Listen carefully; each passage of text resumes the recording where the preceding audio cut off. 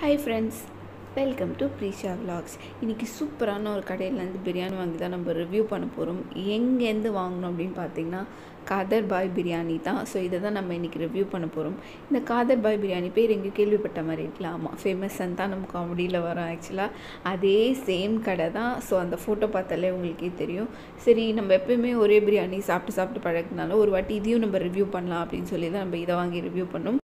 இதோட காஸ்ட்டு ஐ மீன் இதோட குவான்டிட்டி இதெல்லாம் எவ்வளோ இருந்துச்சு அப்படின்றதெல்லாம் நம்ம ரிவ்யூ பண்ணலாம் இதில். ஆக்சுவலாக பிரியாணியோட குவான்டிட்டி வந்துட்டு ஓகே தான் டேஸ்ட் வைஸும் ஓகே தான் பட் பீஸ் வந்துட்டு நமக்கு நிறையவே கொடுத்துருந்தாங்க.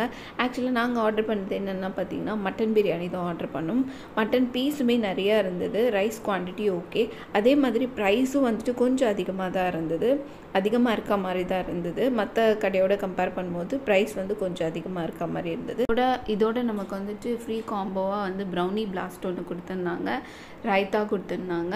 இதை வந்து நம்ம எப்படி ஆர்டர் பண்ணலாம் அப்படின்னா சேம் ஸ்விக்கி ஜொமேட்டோ இதில் ஆர்டர் பண்ணி ப்ளேஸ் பண்ணிக்கலாம். ரைஸ் பற்றி சொல்லணும் அப்படின்னா ரைஸோட டெக்ஸ்டர் வந்து ரொம்பவே சூப்பராக இருந்தது. பார்க்கும்போது சாப்பிட்ணும் அப்படின்ற மாதிரி ஒரு டெம்டேஷனோடு தான் இருந்தது. பட் கண்டிப்பாக ப்ரைஸ்க்கு குவான்டிட்டி இருந்துச்சா அப்படின்னா நான் இல்லைன்னு தான் சொல்லுவேன். பீஸ் இருந்துச்சு பட் ரைஸ் குவான்டிட்டி கம்மியாக தான் இருந்துச்சு.